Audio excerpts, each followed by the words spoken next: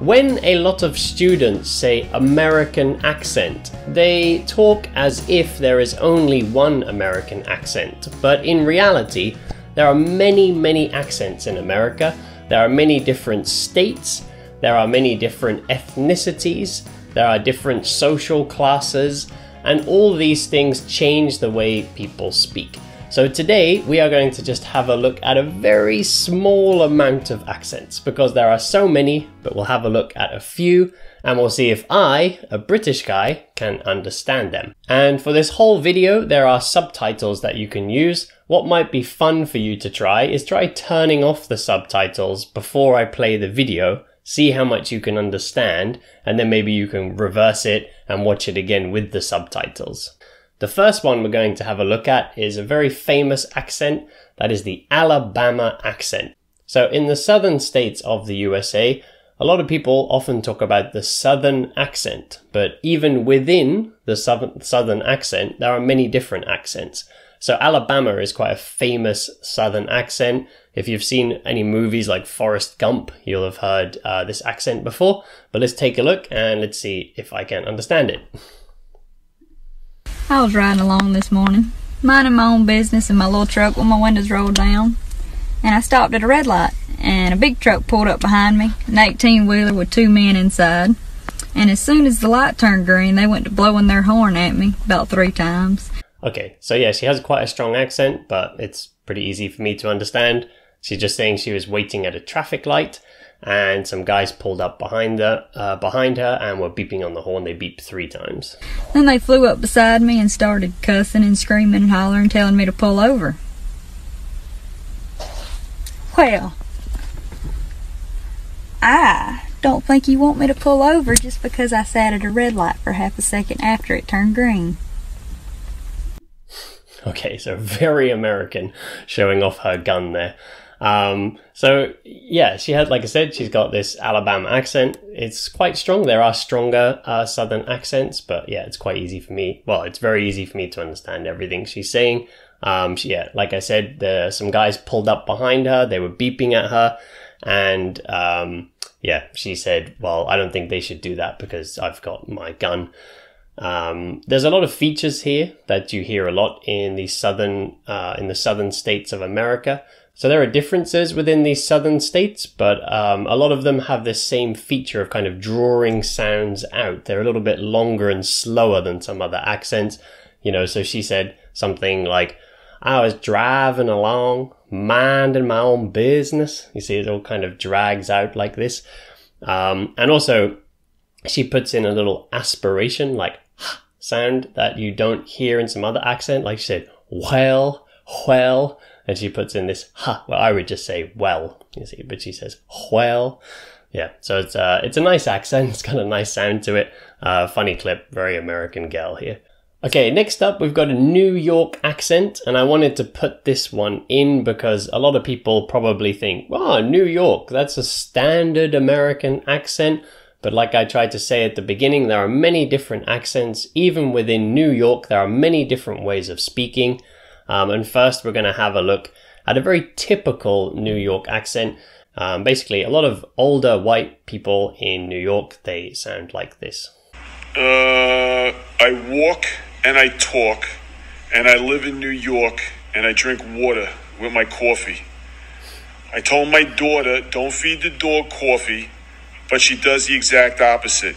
She feeds the dog coffee, and now I have a dead dog a dumb daughter, and no coffee. I, I don't know why he wanted me to read this. I don't get it. All right. Okay, so yeah, this is uh it says like the name of this video is Dad with the strongest New York accent. So the son has written down some things he wants him to read, and the son on purpose has chosen words that sound very strong in a New York accent.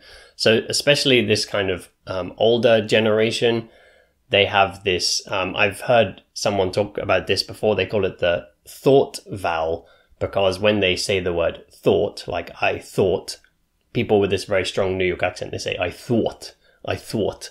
Um, yeah, and when they say things like uh, he was saying talk and walk, it's got this ooh kind of sound to it. Um, so you hear that quite a lot with New York, this New York accent. You hear this quite a lot. And same with the word like coffee, coffee. I can't quite do it as well as him. Obviously, he's a native New Yorker. Um, but yeah, this is uh, quite a quintessential, quite a typical uh, New York accent. But as I said earlier, people's ethnicity or people's background can also really change their accent. So that accent that we were just listening to before was uh, an older white guy. And next up, we're going to listen to what uh, an African American in Brooklyn, in New York, might sound like. These young brothers, like, change their ways, you know? Like, back in the days, we had respect for one another, you know what I mean? Right. Like, now, these young cats, these young cats ain't got respect for each other, you know what I mean? They don't respect nothing. Everything, everything got to be shoot 'em up, kill, kill, you know what I mean? Back in the days, we used to knuckle up. Uh, You know yeah. What I'm saying? You lose, you lose. You go home, go get your crew, we come back and fight again, you know what I mean? But now it's like, brothers just want to shoot everything, you know what I mean? That, that, that got to change. Okay, so this guy, yeah, um, still very easy for me to understand all of these, no problem, but I am a native English speaker. Um, yeah, he's just saying, um, before in the past, uh, him and, um, his like friends or perhaps his gang, um, when they had trouble with other people, they used to, he said, knuckle up, which, uh, means basically, these are your knuckles. So he means we would fight with our fists, we would fight with our hands. But he said these days, a lot of brothers, and when he says brothers, he means uh, young, well, like other black guys, but he's talking about young black guys. He's saying these days in his neighborhood, uh, they're shooting each other. There's a lot of like gang violence. Um, but yeah, with his accent, um, you might have heard the word ain't. And ain't is something that you hear in a lot of uh, native accents. So it could be even in the UK, where I'm from, um, in all different parts of the United States, in Australia, New Zealand. A lot of native speakers use this word ain't. So instead of saying um, isn't or aren't or am not, so I am not will be I ain't, you are not will be you ain't. Um, so a lot of people use this. Even my family, they all use this. My mum, my dad, everyone uses this. Um, there are a lot of features of accents that you'll find in, you know, the UK and you'll find the same thing in America or Australia, but it might just sound a little bit different. Like the accent or the pronunciation is a little bit different. But like this guy, he kept saying, do you know what I mean? Do you know what I mean? Which is saying like, do you know what I mean? Um, and my mum says that a lot, but she says it in a more of a London accent. My mum comes from London and she says, "Ja, I mean? ja, I mean? This guy says, do you know I mean? So it's kind of like the intonation is a bit different, but a lot of the words and things people use uh, can be similar. But the kind of accent and the way people use intonation and words lets you know where someone comes from what kind of background they come from. So yeah, there's in, another interesting accent here from New York. So like I said, even within New York, there are many. This is just two. I'll stop there for New York. We'll have a look at some other places. But even within New York, there are many, many different ways of speaking. And next up, I'm going to show you a Boston accent. This is actually an accent that I really like myself. It's a very, I don't know, charming accent. It's got a very nice sound to it. And this video was quite a famous video on the internet of a man from Boston getting very excited when he saw a strange fish in the water. Um, and yeah, let's have a look at his reaction and try to listen to his accent. Like I said earlier, you've got the subtitles, so don't forget to use them if you need them. I don't know what this is, but Jay says it's a fucking big sea turtle. Look, it's a baby fucking wheel, man. Holy, we are witnessing a baby fucking wheel right here, dude. Okay, I'm going to need to put some bleeps in here because he's using a lot of bad words, a lot of uh, curse words, as Americans would say, or swear words, as we say in the UK. Uh, but his pronunciation of whale is very interesting. Uh, whale, you know, the very big mammal that lives in the ocean. I would pronounce it whale. A lot of native speakers would say whale, but he says, I can't, I can't imitate it very well. There's a weird whale, whale, he says. It's almost like one syllable, whale, instead of whale. You want to try to pull it in? Let's hook it. Oh man, that thing's just dead. Who are you gonna call? You got that on video still? Yeah, come on, let's let's pull up next to that, bro. Let's help it. Oh man, we're calling the Coast Guard. Um, but yeah, so it's quite a fun accent. Um, you might notice in a lot of accents, something that changes a lot is vowel sounds, you know, the A, E, I, O, U sounds. So like when this guy says Coast Guard, and Coast Guard are the kind of people that, yeah, go and save people, like, yeah, the rescue team of the ocean. Um, he says like Coast, uh, Coast Guard instead of God. He says like God, Coast Guard. Um, yeah, I can't imitate his accent very well, but um, yeah, very interesting like use of vowel sounds and things. So that's something that changes a lot in this Boston accent. Um, yes, I mean a famous word for Boston people to say is the word Boston. They say like Boston instead of Boston. So you know the sounds of the vowels really changes. Okay, next up we're going to go all the way over to Hawaii to hear a bit more uh, diversity because Hawaii, like pretty much all of the USA, had native people before. Um, and like I said earlier, people's backgrounds really changes their accent. So if you're talking to an African American or a Latino American or an Italian American, or yeah, like I said, there's all these different backgrounds. And then if you're on the mainland of America, you have these Native Americans. Um, they have like a particular accent. And then also in Hawaii, there were native people and they have a particular kind of accent too. So let's take a look at what that sounds like. Oh, you know what? Babe, you go on boat, all right? John, you go on boat. Go on. Time you go two, they're on three. You guys go this side. The same like the other day, I'm about three times, but when you're coming down sprint sometimes, then lengthen out. Okay, so another interesting accent, and also another feature that you can hear in lots of other English accents um, when he pronounces uh, th sounds, like like he said something like I can't remember what he said, maybe the boat instead of saying like the boat, he says like the the boat. It becomes more like a d sound. So when he was pronouncing different th sounds, like they instead of saying they, he's saying they they all on da boat or something. Um, so that's something you hear in lots of different English accents actually. Okay, next up we have another accent that's quite famous. That's the Chicago accent. Um, just a very short video. It's only 13 seconds, but I tried to find more videos like this that were real people actually, you know, in real situations because there's a lot of videos when you search for accents, a lot of videos are people kind of imitating accents or kind of trying to show you an accent and they're kind of exaggerating or like I said, they're just imitating, kind of copying the accent. So I tried to find more videos like this of people actually like, yeah, like for example, like this in a shop or something, but they're surprisingly hard to find. But for the Chicago accent, I could find one. So let's listen to this lady in the supermarket. You're welcome, honey. Thank you. What do you have? Eggplant rollatini today with Kirkland marinara sauce. So give it a try. Might be what's for dinner tonight. You never know.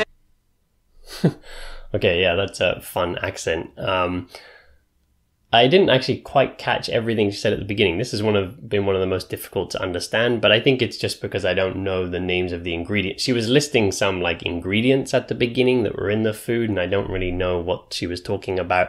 And sometimes in America they use different words for some vegetables and things like that that we don't use in the UK. I'll go back later and listen again and see if I can catch that one. Um, but yeah, everything else she said was okay. She said like here we have this thing. She listed the ingredients and then she said, um, yeah, maybe it's what's for dinner tonight. Maybe it is what's for dinner. So, like, maybe this is what you are going to want to have for dinner, she was saying. Um, but yeah, her accent is, we would probably call this a little bit nasally, so a little bit in the nose. Of course, some people speak more with their nose, but also some accents speak a lot with the nose. So I know another famous accent in America is the Wisconsin accent, and uh, that's a state that's right next to the city of Chicago. So I think this accent is a little bit similar. To me, it sounds almost the same. Um, like I've heard a lot of people when they imitate the Wisconsin accent, um, they just say the name of Wisconsin. A bit like earlier I said with the Boston accent. A lot of people say Boston to imitate the Boston accent. With Wisconsin, people say like Wisconsin, Wisconsin. So it's got this eh, this kind of nasal sound, uh, like we just heard from this lady here from Chicago. So yeah, another interesting accent within America, and at least what she was saying at the beginning, so far that's been one of the more difficult ones for me to understand. But otherwise, everything else has been quite easy to understand. Um, so let's take a look at another accent, and this is really upping the challenge. This one. Next up, we have an Appalachian accent. So right at the beginning, we listen to an Alabama accent, which is a kind of southern kind of country accent. And Appalachia is a mountain range in America, very deep countryside. They have a quite a famous, uh, strong accent that's quite hard to understand. So let's see how I can do with this one. Talking about like that, like if you had some wood out in the yard, instead of saying carry it in the house, you'd say tote it in the house. And like if you had something that you wanted to uh, put in a paper bag, you put in a paper poke, you know, instead of a paper bag. Well, the way people talk around here, I guess it'd be what more like you call hillbilly style or something. I guess I don't know, just a mountain Okay, talk. so this guy's explaining some Appalachian words because this video I searched Appalachian English and he's speaking with a Appalachian accent and he's explaining some kind of Appalachian slang. And he said, um, yeah, like in, he said, for example, instead of saying a paper bag, we used to call it a paper poke. Yeah, instead of saying carry it in the house, he said we say tote it in the house. Yeah, so he said around here it's hillbilly style. Hillbilly is a word that people use in the United States to talk about country people. Um, I think most country people they don't mind this word. Some of them are even proud of it, and they say, "Yeah, I'm a hillbilly." Uh, but some people don't like this word, so some people might get angry if you say this word. Um, but yeah, hillbilly it means sort of people from the country. But for me, I don't find this accent too difficult to understand. I know some people, even some, um, you know, I'm British, you know, this American accent, no problem. But I know even some Americans can have trouble understanding these country accents. But I really like blues and folk music, and a lot of that music comes from the southern states. So for me, I'm actually quite used to hearing these kind of like more southern accents. They're quite familiar to me because of my interest in this music. But I imagine for a lot of you guys who are studying English, this could be a little bit challenging to understand. Okay, so we just looked at, I think that was seven accents. Um, like I said, there are so many more than that. It really depends on the state, it depends on people's social background, it depends on their ethnicity, can also just dep- depend on each individual's personality. So the way people speak can be, can really vary. So I just want this to uh, show you that there's no such thing as a standard American accent. So when people sort of talk about this standard American accent, um, you know, that's the way people might speak on the news, or that's the way uh, some yeah TV presenters might speak.